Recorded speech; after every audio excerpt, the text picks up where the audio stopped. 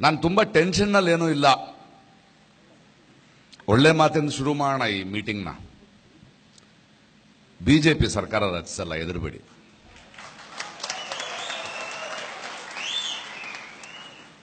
ರಚಿಸೋದೇ ಇಲ್ಲ. ಜನ ಮೂರ್ಖರಲ್ಲ. ಅವ್ರು ಅನ್ಕೊಂಡ್ಬಿಟ್ಟಿದ್ದಾರೆ ಪ್ರಕಾಶ್ ರೈ ಅಂತವರು ಜಿಗ್ನೇಶ್ ಮವಾನಿ ಅಂತವರು ಈ ಥರದ ದೊಡ್ಡ ದೊಡ್ಡ ವಾಯ್ಸ್ಗಳೆಲ್ಲ ಬರ್ತಿದ್ರು ಕೂಡ ತುಂಬಾ ಹಾಗೆ ಲಕ್ಷಗಟ್ಟಲೆ, ಕೋಟಿಗಟ್ಟಲೆ ಜನ ಬರ್ತಾ ಇಲ್ಲ ಅಂತ. ಮನೇಲಿ ಕೂತಿರೋ ಜನಕ್ಕೆ ಗೊತ್ತು, ಹೋದರೆ ನೀವು ಏನಾರು ರಂಪ ಮಾಡ್ತೀರಿ, ನಮ್ಮನ್ನು ಹೆದರ್ಸಿ ಕೂರಿಸಿದ್ದೀರಿ ನಮ್ಗೆ ಟೈಮ್ ಬರುತ್ತೆ ಓಟ್ನಲ್ಲಿ ಹೇಳ್ತೀವಿ ಅಂತ ಕುಂತವ್ರ ಮನೆಯಲ್ಲಿ. ದಯವಿಟ್ಟೆಲ್ಲ ಬೀದಿಗೆ ಬರಬೇಡಿ ಕನ್ನಡದ ಪ್ರಜೆಗಳೇ. ಬೇಸಿಗೆ ಕಾಲ ಇದೆ, ಮನೇಲಿ ತಂಪಾಗಿರಿ. ಓಟ್ ಮಾಡೋ ದಿನ ಒಂದ್ಸಲ ಬಂದು ಜೀವನ ಪೂರ್ತಿ ತಂಪಾಗಬೇಕಾದಂತಹ ಒಂದು ಡಿಸಿಷನ್ನ ತಗೊಂಡು ಇವ್ರನ್ನ ಮನೆಗೆ ಕಳಿಸಿ.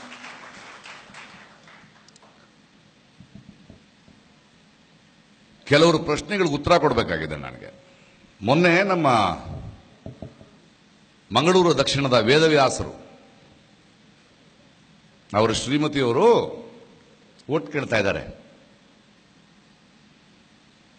ಕೇಂದ್ರದಲ್ಲಿ, ಡೆಲ್ಲಿನಲ್ಲಿ ಮತ್ತು ಕರ್ನಾಟಕದಲ್ಲಿ ನೀವು ಬಿಜೆಪಿ ಪಕ್ಷಕ್ಕೆ ಓಟ್ ಹಾಕಿ, ನಿಮ್ಗೆಲ್ರಿಗೂ ಗೊತ್ತು ಹಿಂದುತ್ವ ಉಳಿಬೇಕಾದ್ರೆ ಬಿಜೆಪಿ ಬರಬೇಕು. ನಾನು ಹೇಳಿದೆ, ಅಮ್ಮ, ತಾಯಿ, ನೀವು ಅವರ ಶ್ರೀಮತಿಯವರು ನಿಮಗೆ ಓಟ್ ಕೇಳುವ ಹಕ್ಕಿದೆ. ಧರ್ಮದ ಹೆಸರಿನಲ್ಲಿ ವಿಂಗಡಿಸಿ ವಿಷಬೀಜವನ್ನು ಬಿತ್ತಿ ಕೇಳಬೇಡಿ ಎಂದೆ. ಯಾಕಂದ್ರೆ ಈ ಭಕ್ತರು, ಆ, ಅವರು ಯಜಮಾನರಿಗೆ ಓಟ್ ಕೇಳೋದು ಏನ್ರಿ ತಪ್ಪು ಅಂತ ಕೇಳ್ತಾ ಇದ್ದಾರೆ. ಪ್ರಜಾಪ್ರಭುತ್ವದಲ್ಲಿ ಜಾತಿ ಹೆಸರು ಕೇಳ್ಕೊಂಡು ಓಟ್ ಕೇಳಬಾರ್ದು. ಅಲ್ಲ, ಬೇರೆಯವ್ರು ಕೇಳ್ತಿದಾರಲ್ಲ, ಅವ್ರನ್ನ ಕೇಳ್ತಾ ಇಲ್ಲ ನೀವು ಅಂತ ಇದ್ದಾರೆ. ನಾವು ನಿನ್ನೊಂದು ಪ್ರಶ್ನೆ ಕೇಳ್ತಿದ್ದೀನಮ್ಮ. ಬೇರೆಯವ್ರು ಸಗಣಿ ತಿಂದ್ರೆ ನೀವು ಸಗಣಿ ತಿಂತೀರಾ? ಮೊದಲು ನೀವು ಉತ್ತರ ಕೊಡಿ. ವೇದವ್ಯಾಸರ ಶ್ರೀಮತಿಯಾಗಿದ್ದ ಮಾತ್ರಕ್ಕೆ ನೀವು ಹೇಳೋದಲ್ಲ, ನಮಗೆ ವೇದವಾಕ್ಯ ಅಲ್ಲ. ಅಲ್ವೇ? ಬಿಹೇವ್ ಯುವರ್ ಸೆಲ್ಫ್ಸ್ ನಿನ್ನೆ ಒಂದು ಮೋರ್ಚಾದಲ್ಲಿ ಕರೆದು ಪ್ರಕಾಶ್ ರೈ ವಿರುದ್ಧ ಪ್ರತಿಭಟನೆ ಅಂತೆ ಒಂದು ಪ್ರೆಸ್ ಮೀಟ್ ಅಂತೆ. ಮಹಿಳಾ ಮೋರ್ಚಾದ ತಾಯಂದರು, ತಾಯಂದ್ರೆ, ಅಲ್ಲ, ಹಿಂದೂ ಧರ್ಮದ ಬಗ್ಗೆ ಮಾತನಾಡಲಿಕ್ಕೆ ನಟ ಪ್ರಕಾಶ್ ರೈ ಯಾರು? ಅವರು ಸಂತರಾಗಲಿ, ಧರ್ಮಗಳು ಬೇಡ ಅಂದರೆ ನಾವು ಶ್ರೀಸಾಮಾನ್ಯರು ನಮಗೆ ನೀವ್ಯಾರು ನೀವು ಗುತ್ತಿಗೆ ತಗೊಂಡಿದ್ದೀರಾ ಧರ್ಮನ? ನಿಮಗೆ ಹೇಳಿದ್ವ ನಾವು ಹಿಂದೂ ಧರ್ಮ ಬೇಡ ಅಂತ. ಹಿಂದೂ ಧರ್ಮದ ಹೆಸರಲ್ಲಿ ಮುಗ್ಧ ಹಿಂದೂಗಳನ್ನ ಬಳಸ್ಕೊಂಡು ರಾಜಕೀಯ ಮಾಡ್ತಿದ್ರಲ್ಲ, ಮೊದಲ ಹೊಲಸು ರಾಜಕೀಯ ನಿಲ್ಲಿಸಿ ಅಂತ ಹೇಳ್ತಾ ಇದೀವಿ ನಾವು. ಯಾವ ಧರ್ಮ, ಧರ್ಮದ ಹೆಸರಿನಲ್ಲಿ ರಾಜಕೀಯ ಮಾಡಿದ್ರು ತಪ್ಪೆ. ಸುಳ್ಳೇ ಅದು. ಇಲ್ಲ ಇಲ್ಲ, ನಾವು ಎಲ್ಲಾ ಧರ್ಮದವರನ್ನು ರಕ್ಷಿಸುವವರು ಹಿಂದೂ ಧರ್ಮದವರು. ಆದ್ರೂ ಶ್ರೀಮತಿಯವರು, ವೇದವ್ಯಾಸರ ಶ್ರೀಮತಿಯವರು ಒಂದು ಹಿಂದೂ ಧರ್ಮದ ಹೆಸರಿನಲ್ಲಿ ಮತ ಕೇಳಿದ್ರೆ ತಪ್ಪು ಅಂದ್ರೆ ನೀವು ಏನು ಹೇಳ್ತಾ ಇದ್ದೀರಿ? ಎಷ್ಟು ಕನ್ಫ್ಯೂಸ್ ನೋಡಿ ನೀವು. ಎಲ್ಲರನ್ನೂ ಸಹಿಸುವ ಧರ್ಮ ಅಂತಾನು ಹೇಳ್ತಿದ್ದೀರಿ, ಒಂದು ಧರ್ಮದಲ್ಲಿ ಹೆಸರು ತಗೊಳ್ಳೋದು ತಪ್ಪಿಲ್ಲ ಅಂತಿದ್ದೀರಿ. ಅಮ್ಮ, ತಾಯಿ, ನೀವು ದಯವಿಟ್ಟು ಅರ್ಥ ಮಾಡ್ಕೊಳ್ಳಿ. ಆ ವೇದವ್ಯಾಸರಿಗೆ ಹೇಳಕ್ಕೆ ಹೇಳಿ, ಶ್ರೀಮತಿಯವರಿಗೆ. ದಯವಿಟ್ಟು ಅದು ಹೆಂಗಸರನ್ನ ಮರ್ಯಾದೆಯಿಂದ ನೋಡದಿರೋ ಪಕ್ಷ ಹೊರಗೆ ಬರಕ್ಕೆ ಹೇಳಿ ಅಲ್ಲಿಂದ. ಒಳ್ಳೆ ಪಕ್ಷ ಅಲ್ಲ, ಅದು ಒಳ್ಳೆ ಜನ ಇಲ್ಲ ಅಲ್ಲಿ. ಅತ್ಯಾಚಾರಿಗಳನ್ನ ಬೆಂಬಲಿಸೋ ಪಕ್ಷ ಸ್ವಾಮಿ, ದಯವಿಟ್ಟು ಹೊರಗೆ ಬರಕ್ಕೆ ಹೇಳಿ ಅಷ್ಟು ದೇಶ ಸೇವೆ ಮಾಡಬೇಕು ಅಂದ್ರೆ ದಯವಿಟ್ಟು ಸ್ವತಂತ್ರರಾಗಿ ನಿಂತ್ಕೊಳ್ಳಿ. ಯಾಕೆ ಆ ಪಕ್ಷಕ್ಕೆ ಹೋಗಿ ಹೆಸರಾಳು ಮಾಡಿಕೊಂಡು? ಅಲ್ವೇ? ಬಿಜೆಪಿನ ಒಂದು ಪ್ರಶ್ನೆ ಕೇಳಬೇಕು ನನಗೆ. ನಿಮಗೆ ಸಿದ್ಧಾಂತಗಳಿದೆ ಅಂತ ಯಾರು ಹೇಳಿದ್ರು ನಿಮಗೆ? ಕಾಂಗ್ರೆಸ್ ಪಕ್ಷಕ್ಕೆ ಸಿದ್ಧಾಂತ ಇದೆ, ಕಮ್ಯುನಿಸ್ಟ್ ಪಕ್ಷಕ್ಕೆ ಸಿದ್ಧಾಂತ ಇದೆ, ಇನ್ನೊಂದು ಪಕ್ಷಕ್ಕೆ ಸಿದ್ಧಾಂತ ಇದೆ. ಬಿಜೆಪಿ ಪಕ್ಷಕ್ಕೆ ಯಾವುದೇ ಸಿದ್ಧಾಂತ ಇಲ್ಲ. ಯಾಕೆಂದ್ರೆ ಅವ್ರ ಪಕ್ಷನೇ ಅಲ್ಲ ಅವರು. ಅವ್ರ ಹಿಂದೆ ಒಬ್ಬರಿದ್ದಾರೆ ಸಂಘ ಪರಿವಾರದವರಿದ್ದಾರೆ ಇನ್ನೊಬ್ಬರಿದ್ದಾರೆ ಅವ್ರ ಸಿದ್ಧಾಂತನ ಇವ್ರದ್ದು ಅಂತ ಹೇಳ್ಕೊಂಡು ಓಡಾಡ್ತಾ ಇದ್ದಾರೆ ಇವರು. ಬಿಜೆಪಿ ಅವರು ಎಂಥವ್ರು ಅಂದ್ರೆ ಮನೆ ಮುಂದೆ ಒಂದು ಬೆದರು ಬೊಂಬೆ ಇಡ್ತೀವಲ್ಲ, ನೀವು ಬೆದರು ಬೊಂಬೆ ಪಕ್ಷ ನೀವು. ನಿಮ್ದು ಸ್ವಂತ ಬುದ್ಧಿ ಇಲ್ಲ ನಿಮ್ದು. ನಮಗೆ ನೀವು ಯಾರು ಅಂತ ಗೊತ್ತಾಗಬೇಕು. ಸಂಘ ಪರಿವಾರದವ್ರು ಏನು ಹೇಳ್ತಿದ್ದಾರೆ ನಮಗೆ ಗೊತ್ತು ಅಟ್ಲೀಸ್ಟ್ ಹೇಳ್ತಾ ಇದ್ದಾರೆ ನಾವು ಯಾರು ಅಂತ. ನಮ್ಮದು ಸನಾತನ ಧರ್ಮ, ಹಿಂದೂ ರಾಷ್ಟ್ರ, ನೀವು ಹೇಳ್ತಿದ್ರಿ ನಿಮ್ಮ ಜೊತೆ ಮಾತಾಡೋಕೆ ಗೊತ್ತು. ನಿಮ್ಮ ಜೊತೆ ಏನ್ರಿ ಮಾತುಕತೆ ನೀವು? ಬೆದರು ಬಂದ ಪಕ್ಷ ನೀವು? ಮನೆ ಮುಂದೆ ಇಟ್ಕೊಂಡ್ರವ್ರು ನೀವು? ಏನಿದೆ ನಿಮಗೆ ಸಿದ್ಧಾಂತ? ಯಾವ ಸಿದ್ಧಾಂತದ ಬಗ್ಗೆ ಮಾತಾಡ್ತಿದ್ರಿ? ಮತ್ತು ಆ ದೇಶ, ಆ ಪಕ್ಷದ, ಇವ್ರನ್ನ ನೋಡಿ ನಾಯಕರುಗಳನ್ನ ನೋಡಿ, ಕರ್ನಾಟಕದ ನಾಯಕರುಗಳನ್ನು ನೋಡಿ.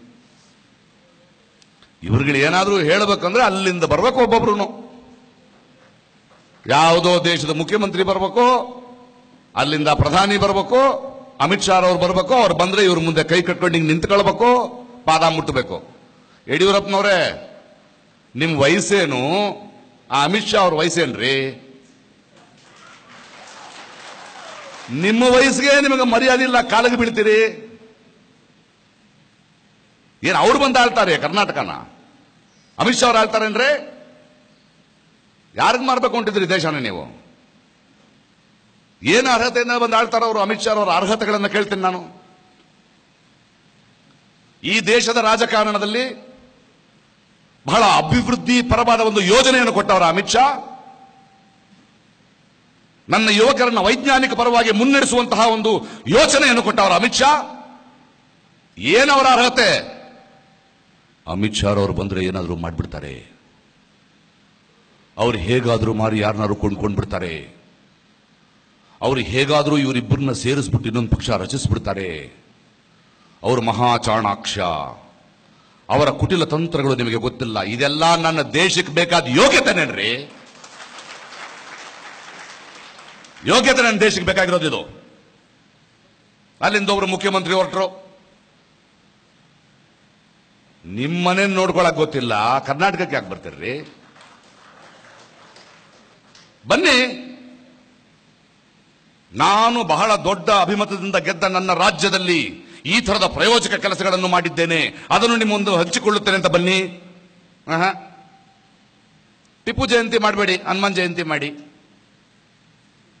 ನೋಡಿ, ಈ ತರ ಒಡೆದಾಳೋ ಕತೆ ಎಲ್ಲ ಹೇಳ್ಬಿಡಿ ನಮ್ಮ ಹತ್ರ.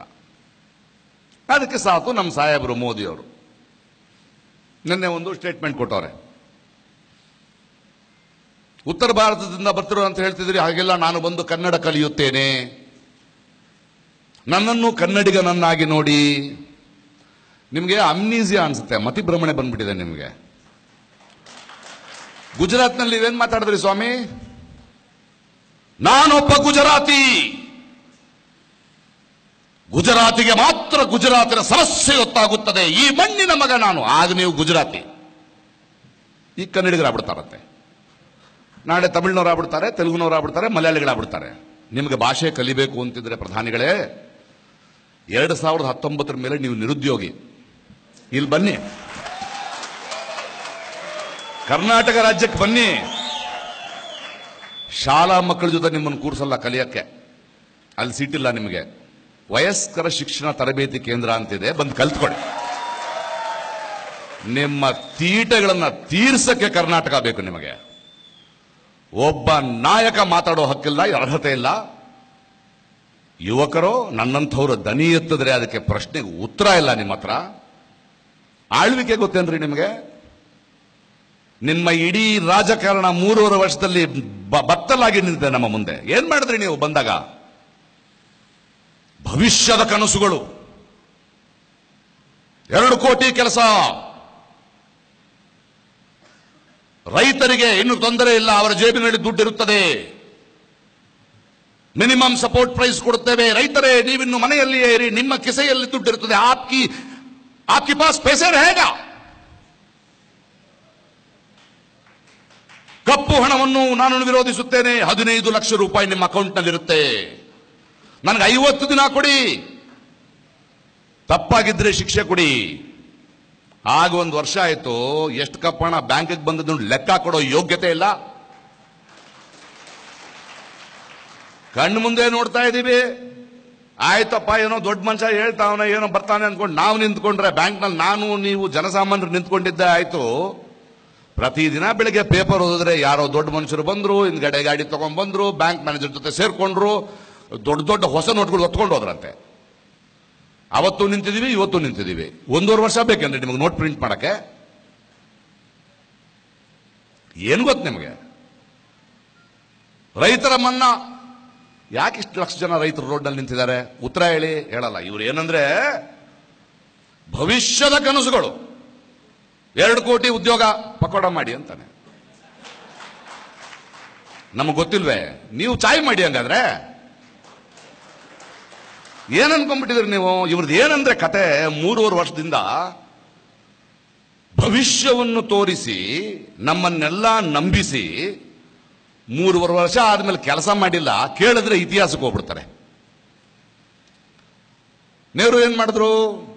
ಟಿಪ್ಪು ಸುಲ್ತಾನ್ ಏನ್ ಮಾಡಿದ್ರು? ಅಲ್ರಿ, ರೀ. ನೀವು ತಾನೇ ಹೇಳಿದ್ದು, ಇವತ್ತೇನ್ ಮಾಡ್ತೀನಿ ಅಂತ ಅದನ್ನ ಕೇಳ. ಅಲ್ಲೇನ್ ಮಾಡ್ತಿದ್ದಾರೆ? ನೆಹರು ಏನು ಮಾಡಿದ್ರು? ನನಗೆ ಯಾಕ್ರಿ ನನ್ನ ಮುತ್ತಾತನ ಮುಖಾನೇ ನಂಗೆ ನೆನಪಿಲ್ಲ. ಎಂಟು ತಲೆಮಾರು ಆಚೆ ಇರೋ ಟಿಪ್ಪು ಸುಲ್ತಾನ್ ಕಟ್ಕೊಂಡು ನಾನು ಮಾಡಲಿ? ನನಗೆ ನಾಳೆಯ ಭವಿಷ್ಯದ ಬಗ್ಗೆ ಹೇಳು. ಕೆಲಸ ಮಾಡಕ್ ಗೊತ್ತಿಲ್ವಾ? ಗೊತ್ತಿಲ್ಲ ಅಂತ ಹೋಗು. ಬರೀ ಸುಳ್ಳು. ಇವ್ರುಗಳಿಗೆ ಒಂದು ರೋಗ ಇದೆ. ಈ ವಿಕ್ರಮ್ ಬೇತಾಳ ಕಥೆ ಇದೆಯಲ್ಲ, ಆ ತರ ಒಂದು ರೋಗ. ದಿನಕ್ಕೆ ಒಂದು ನೂರು ಸುಳ್ಳು ಹೇಳ್ದಿದ್ರೆ ತಲೆ ಹೊಡೆದೋಗ್ಬಿಡುತ್ತೆ ಇವ್ರಿಗೆ. ಬೆಳಿಗ್ಗೆ ಎದ್ದ ತಕ್ಷಣ ಟೀ ಕುಡಿತಾ ಕಾಫಿ ಕುಡಿದಿದ್ದೀನಿ ಅನ್ನೋದು. ಮಹಾತ್ಮ ಗಾಂಧಿಗೆ ನಮಸ್ಕಾರ ಮಾಡ್ಕೊಂಡು ಒಳಗಡೆ ಗೋಡ್ಸೇನ್ ಇಟ್ಕೊಳ್ಳೋದು. ಅಲ್ವಾ? ಬರೀ ಸುಳ್ಳು. ಇವ್ರಿಗೆ ಲೆಕ್ಕಾಚಾರನೂ ಗೊತ್ತಿಲ್ಲ ಇವ್ರಿಗೆ. ಜಿ ಎಸ್ ಟಿ ಹಾಕ್ತಾರಂತ ಇವರು. ಅಲ್ಲೆಲ್ಲೋ ವಿದೇಶದಲ್ಲಿ ಹೋಗ್ಬಿಟ್ಟು ಆರ್ನೂರು ಕೋಟಿ ಭಾರತೀಯರು ನನ್ನ ಇಡೀ ಪ್ರಪಂಚದ ಜನಸ ಜನಸಂಖ್ಯೆನೇ ಅಷ್ಟಿಲ್ರಿ.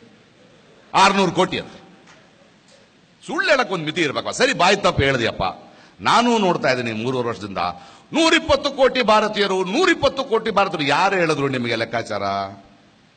ಕರ್ನಾಟಕದಲ್ಲಿ ನೀವಿಲ್ಲ, ತಮಿಳ್ನಾಡಿನಲ್ಲಿ ನೀವಿಲ್ಲ, ಕೇರಳದಲ್ಲಿ ನೀವಿಲ್ಲ, ಆಂಧ್ರದಲ್ಲಿ ನೀವಿಲ್ಲ, ತೆಲಂಗಾಣದಲ್ಲಿ ನೀವಿಲ್ಲ, ಪಂಜಾಬ್ನಲ್ಲಿ ನೀವಿಲ್ಲ, ಬೆಂಗಾಲ್ನಲ್ಲಿ ನೀವಿಲ್ಲ, ಯಾವ ಲೆಕ್ಕಾರೆ ನೂರಿಪ್ಪತ್ತು ಕೋಟಿ? ಒಂದು ಸುಳ್ಳು ನೂರು ಸಲ ಹೇಳಿದ್ರೆ ನಿಜ ಆಗ್ಬಿಡುತ್ತಾ? ನಿಮ್ಗೊಬ್ಬರಿಗೆ ಐವತ್ತಾರು ಇಂಚು, ನಮಗೂ ಇದೆ ಐವತ್ತಾರು ಇಂಚು ಇದೆ. ಸುಮ್ಮನೆ ಸುಳ್ಳುಗಳು ಹೇಳ್ಕೊಂಡು ತಿರುಗಬೇಡಿ, ನಿಮ್ಗೆ ಅದು ಆಗ್ತಾ ಇಲ್ಲ. ನೋಡಿ, ಜನಕ್ಕೆ ಗೊತ್ತಾಗ್ತಾ ಇದೆ. ಎಲ್ಲ ಗೊತ್ತು ಜನಕ್ಕೆ. ಇವ್ರ ಮಧ್ಯಾಹ್ನ ಮತ್ತೆ ಈ ತರ ಸುಳ್ಳುಗಳು ಹೇಳ್ಕೊಳ್ಳೋದನ್ನ ನಿಲ್ಲಿಸಿ ಮೊದಲು. ಆಮೇಲೆ ಇವರು ಬರ್ಟ್ರಂತೆ ಯಾರೋ ರೆಡ್ಡಿ ಬ್ರದರ್ಸ್ಗಳು ಬಂದ್ಬಿಟ್ರಂತೆ. ಒಬ್ಬರೇನೋ ರೆಡ್ಡಿಗಳು ಬೇಡ, ನನ್ ಹೋಗಲ್ಲ ಅಂತಾರ ಅವರು. ಇವರೇನೋ ರೆಡ್ಡಿಗಳು ಬಂದ್ರೆ ಯಡಿಯೂರಪ್ಪನವರು ಅದೇ ಸೀಟ್ ಸಿಗುತ್ತಂತೆ. ನಮ್ಮ ಪ್ರಾಬ್ಲಮ್ ಏನಂದ್ರೆ ಕರ್ನಾಟಕದ ಜನತೆಗೆ ರೆಡ್ಡಿಗಳು ಬಂದ್ರಪ್ಪ ಇನ್ನು ನಮ್ಮ ಬೆಟ್ಟ ಗುಡ್ಡಗಳನ್ನು ಯಾರು ಕಾಪಾಡೋದು ಆ ದೇವರ ಅಂತ. ಜನರೇ ಯೋಚನೆ ಮಾಡಿ. ನಾವು ಯಾವ ಧರ್ಮದ ವಿರುದ್ಧವಲ್ಲ. ಮನುಷ್ಯ ಧರ್ಮವನ್ನು ತುಳಿದು ಅದರ ಮೇಲೆ ಯಾವ ಧರ್ಮವೂ ನಿಲ್ಲಲು ಸಾಧ್ಯವಿಲ್ಲ. ಎಲ್ಲ ಧರ್ಮಗಳು ಹೇಳುವುದು ಮನುಷ್ಯ ಧರ್ಮವನ್ನು ಉಳಿಸಿ ಎಂದೆ. ನಮ್ಮ ಮೇಲೆ ಎಷ್ಟೇ ಅಪಪ್ರಚಾರ ಮಾಡಿದರೂ ನಿಮ್ಮ ಬಣ್ಣಗಳು ಬಯಲಾಗುತ್ತಿವೆ. ಕರ್ನಾಟಕದ ಜನತೆ ಬುದ್ಧಿವಂತ ಜನತೆ, ದಕ್ಷಿಣ ಕನ್ನಡದ ಜನತೆಯೂ ಬುದ್ಧಿವಂತರ ಜನತೆ. ನಾವು ನಮ್ಮ ಹೋಟೆಲಿಗೆ, ನಮ್ಮ ಕಲಾಚಾರಕ್ಕೆ, ನಮ್ಮ ನಾಗಬನಗಳಿಗೆ, ನಮ್ಮ ಆಚಾರಗಳಿಗೆ ನಮ್ಮ ಸಂಸ್ಕೃತಿಗಳಿಗೆ, ನಮ್ಮ ಊಟಕ್ಕೆ ಹೆಸರುವಾಸಿ ಆಗಬೇಕೆ ಹೊರತು ಕೋಮು ಗಲಭೆಗಲ್ಲ. ಅದು ಕರ್ನಾಟಕದ ಜನತೆ ಗೊತ್ತು. ನಿಮ್ಮ ಬೇಳೆಕಾಳು ಇಲ್ಲಿ ಬೇಯಲ್ಲ. ಹದಿನೈದನೇ ತಾರೀಕು ಫಲಿತಾಂಶ ನಿಮಗೆ, ನಮಗೆ ಬಂದಾಯಿತು. ಎಲ್ರಿಗೂ ಒಳ್ಳೆಯದಾಗಲಿ ಥ್ಯಾಂಕ್ ಯು